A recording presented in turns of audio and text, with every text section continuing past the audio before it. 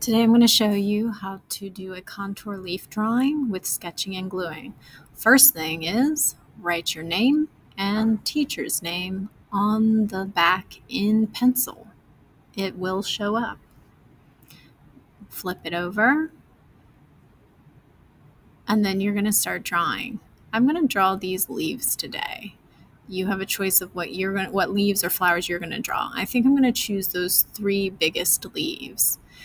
And when you're doing this, you want to think about composition. So for composition, I'm going to make it so big that it touches at least three sides. And I'm also going to be overlapping as well. So when I'm starting, I am going to be using that contour line. I'm going to start by drawing the outside of it first. And then I'm going to fill it in with all those little veins and details. So I'm going to start big and go for the outside.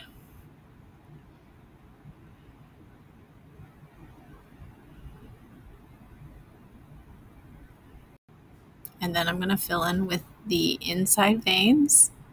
Not every vein, because then that would be really, really hard to glue and I'd be here all day, but some of the main ones.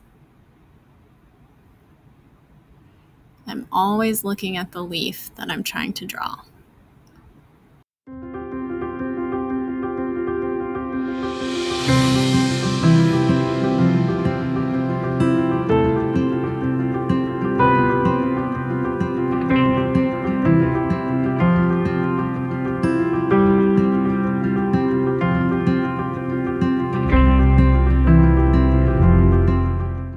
So when you're done, you're going to show Miss Fitzgerald to get checked off. And what I'm looking for is does your composition touch three sides and do you have overlapping? So let's check. One, two, three sides have been touched and the leaves are overlapping. So then this one is good to go for the next step.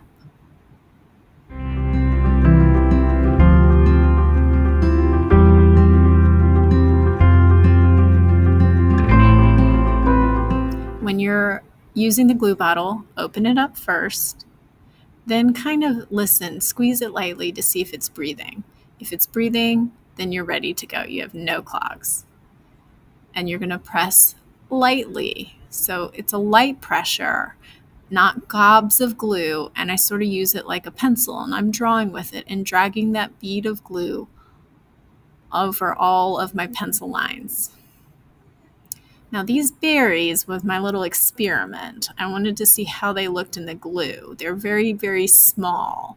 So you can see that they turn out kind of blobby. So maybe very, very small details are not good for glue.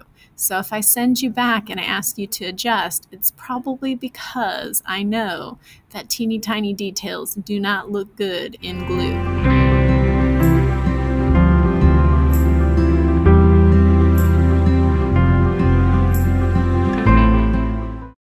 Close that cap and you can put that glue bottle away. And then this artwork is going to make its way to the drying rack. You can fit two artworks per rack.